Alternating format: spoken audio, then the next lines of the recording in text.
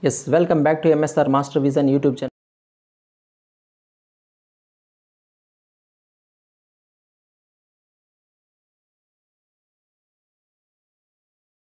Welcome back to MSR Master Vision YouTube channel. Today we'll discuss about uh, scientists and their inventions. The first invention we called as vitamins.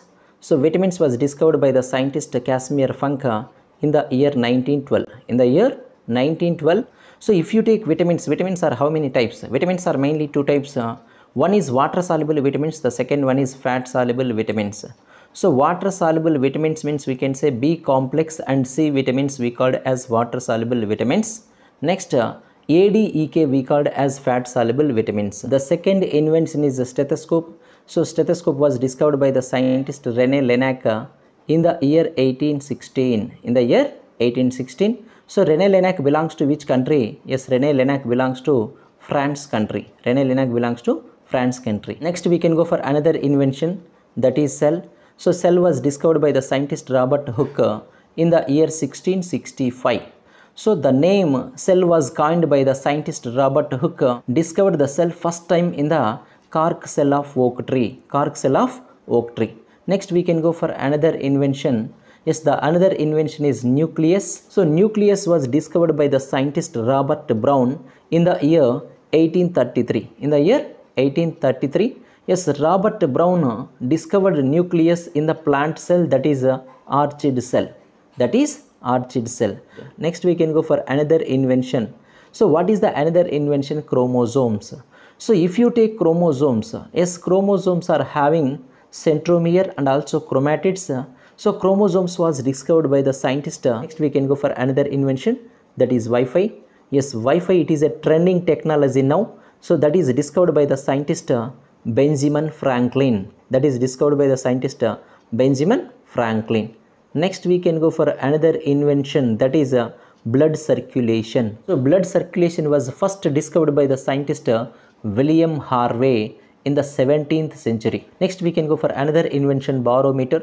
Yes, barometer was discovered by the scientist Torricelli. But what is the use of barometer? Yes, barometer it is used for detecting the atmospheric pressure. Barometer it is used to measure the atmospheric pressure. Next we can go for another scientist. One is Robert Hill. Yes, Robert Hill discovered uh, oxygen is released during photosynthesis.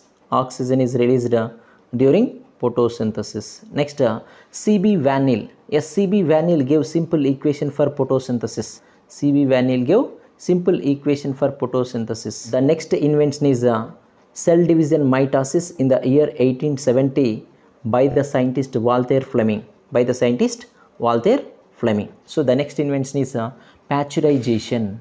Yes, if you take pasteurization, pasteurization why we can use? Yes, pasteurization we can use for preservation of milk. So in the pasteurization process, yes, uh, the milk is heated at the temperature 72 degrees centigrade. So pasteurization was discovered by the scientist uh, Louis Pasteur. The next invention is Raman effect. So Raman effect was discovered by the scientist C.V. Raman. So due to the discovery of Raman effect, uh, so Sir C.V. Raman got Nobel Prize in the year 1930. So in India, every year, February 28, uh, we celebrated as National Science Day. National Science Day. Next, we can go for another invention that is a simple microscope. So simple microscope was discovered by the scientist Anthony van Leeuwenhoek. So in the year 1676, Anthony van Leeuwenhoek discovered uh, bacteria first time. So that is why Anthony van Leeuwenhoek we called as father of microbiology. Next we can go for another invention that is penicillin. Yes, penicillin was discovered by the scientist uh, Alexander Fleming. So Alexander Fleming discovered uh, penicillin in the year 1928. In the year 1928. So due to the discovery of penicillin injection, yes, Alexander Fleming got Nobel Prize uh, in the year 1945. In the year 1945.